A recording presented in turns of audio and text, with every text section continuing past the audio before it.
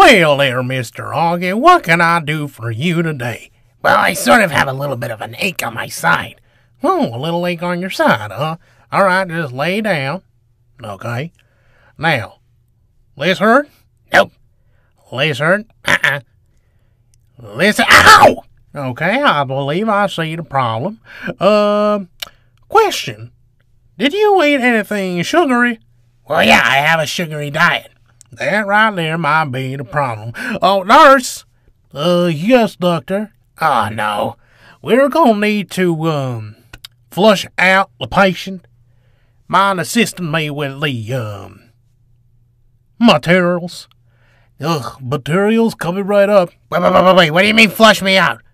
Oh, don't worry. It's a safe way for you to relax with that side of yours.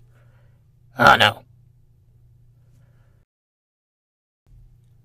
Well, how do you feel? I feel like you guys might need to get a new toilet. He's right. It's all clogged.